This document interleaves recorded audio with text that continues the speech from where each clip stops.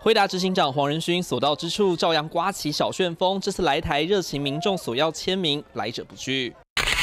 甚至电脑展上有女粉丝直接要他签在衣服上，黄仁勋也小心翼翼实现愿望。事后女粉丝直呼当下根本肾上腺素飙升，有网友开始讨论起黄仁勋的外形，撇除后天优势，只论外表，是女生喜欢的类型吗？比较黄仁勋现在六十一岁，跟年轻时比一比，只有头发变白，现在则换上招牌皮衣，也尽显绅士风度，但脸上没皱纹，整体保养得宜，外形顺眼干净，不少受访者。更是大喊他是我的菜，现在也是蛮有韵味的，整个看起来面面相很和善啊，然后而且也很聪明，他是很多女生的菜。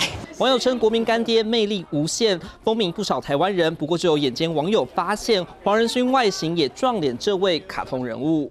With these guys. Hi, Mr. Frederickson. Please let me in. No.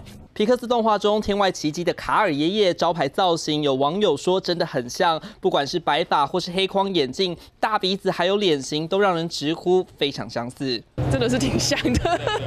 相信程度大概有几嗯，大概九十五趴。Basically, is a very like rectangular face, Yeah. hair, Yeah.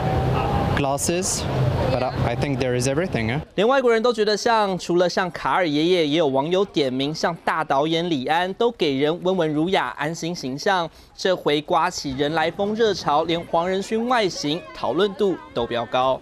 三立新闻做报道。